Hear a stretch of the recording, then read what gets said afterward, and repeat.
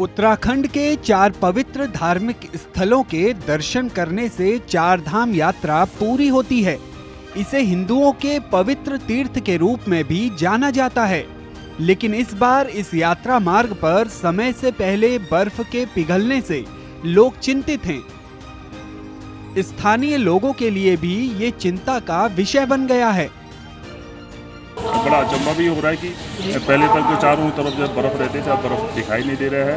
और अब हमको तो ये लगता है कि जो वैश्वीकरण हो रहा है या जो ग्लोबलाइजेशन हो रहा है, शायद उसका ही असर होगा या जो प्रकृति के साथ जो छेड़छाड़ की जा रही है, मानवीय जो भूल हो रही है, उस कारण भी हो रहा होगा।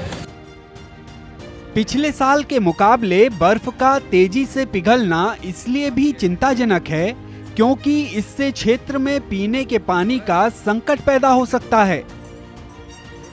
देखने में आ रहा है कि हिमालयी क्षेत्रों में भी बड़े बड़े जल स्रोत धीरे धीरे उनका जल स्तर घट रहा है और गाँव में पेयजल का बड़ा संकट देखने को आ रहा है।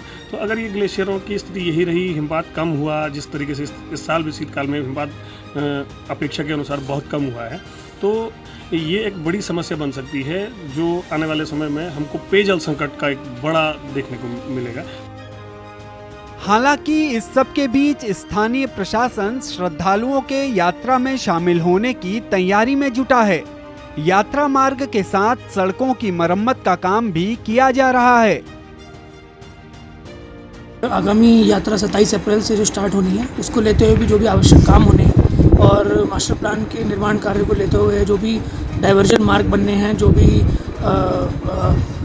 जो रोड्स हैं वो इंटरप्ट हो रहे हैं तो उसके संबंध में भी टाइम से पहले यात्रा से पहले काम सारे कामों को कंप्लीट करने के निर्देश दिए। निश्चित रूप में इसका प्रचार प्रसार तो हम कर ही रहे हैं और लोग यहाँ पूरे भारत से आते हैं। तो इसलिए मैं समझता हूँ कि इसमें तन्मयता के साथ पूरी समर्पण के साथ इस कार्य को करना है और इस यात्रा को सफल बनाना है।